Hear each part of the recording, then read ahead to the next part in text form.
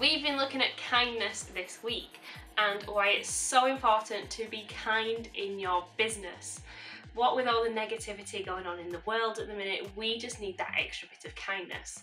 And if you are kind in your business, it shows that you are a human being. You're human, and, and I was human. I am human. And others are more likely to come to you because you are giving happiness and helping to support others with your business. Bill Gates is one of the most famous people in the world. Uh, I'll cheat a little bit and one of the richest people in the world. He's also really well known for giving so much money to charity.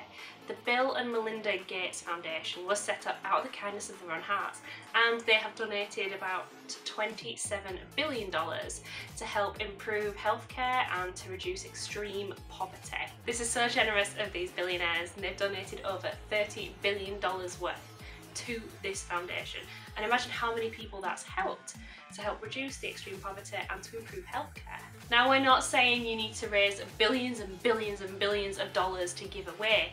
It could be an internal fundraiser that you do as a team or a percentage of your profits can go to a local charity every little bit helps for these charities especially if you pick a local charity then your customers are going to see that you care about the local community and you can even then visit that charity and see how your money is helping them. We all love helping people and we all love being kind so if your products profits are going to help those in need then people are more likely to buy from you because they then will also be supporting that charity. I'm going to talk about innocent drinks. They create really nice healthy drinks. I'm sure you've all picked up an innocent drink in the meal deal when you go to the supermarket and they donate a lot of their profits to charity and especially they do the big knits, you know, you see them with their all little woolen hats. People knit the hats and donate them to Innocent and then every drink that has a hat on it, 25p of it will be donated to Age UK which helps combat loneliness. So that's a really nice example of quite a large scale charity fundraiser for quite a well known product. Another really good thing you can do for kindness is to give away free things. Not long ago before Christmas, I actually got a free pair of socks from Innocent. It was on Twitter and it just popped up saying, if anyone would like a little extra Christmas treat from us, sign up below on a first come first served basis. I did it on a whim, I wasn't expecting to be one of the first people to sign up, completely forgot about it.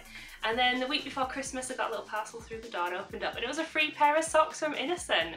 And uh, they had the hashtag tweet your feet and it was really nice to see the thread of all the other people who got the free socks.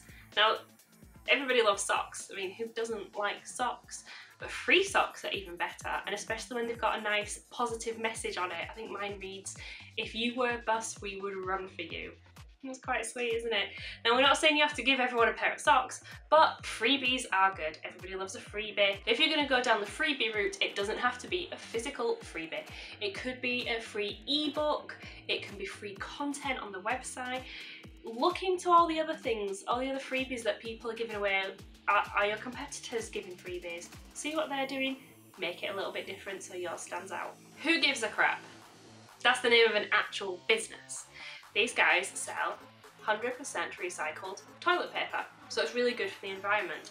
But 50% of the profits go to help build toilets because the, the guys who founded it, they read an article that said that 2.3 billion people don't have access to a toilet worldwide. And this shocked them and they wanted to do something to help. So they started their business and it started through Indiegogo, which was where people pledge money so they could start their orders and they've helped so many people now with the building of their toilets and all the money that's raised through everyone else buying their toilet paper. And it's recycled so it's good for the environment. They don't use any inks or dyes so it's good for your skin.